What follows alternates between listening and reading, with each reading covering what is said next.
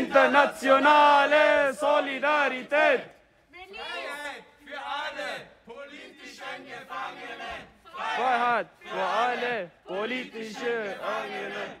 Wir wollen einfach nur einen Brief übergeben, wo wir nach dem Verschwinden eines politischen Aktivisten, eines Jugendaktivisten, der sich für Studentenrechte, Arbeiterrechte eingesetzt hat, nachfragen und sie versuchen uns mit Gewalt davon abzuhalten, diesen Brief zu übergeben. Ich glaube, das zeigt, dass der pakistanische Staat ein Unrechtsstaat ist, wo Rechte von Arbeitern, und Jugendlichen nichts zählen.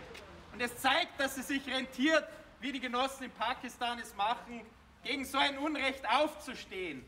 Deswegen sind wir heute hier, um äh, die Freilassung von Amar Fayaz zu verlangen. Wir wollen sofort wissen, wo er ist.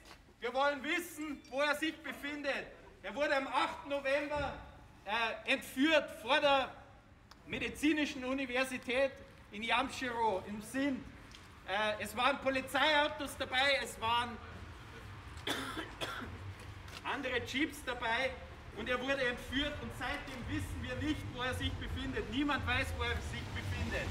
Wenn es eine Anklage gegen ihn gibt, dann soll er vor einen Richter vorgeführt werden. Aber es kann nicht sein, dass Aktivisten entführt werden, verschwinden, egal wofür sie kämpfen, sind in Pakistan immer wieder Leute verschwunden.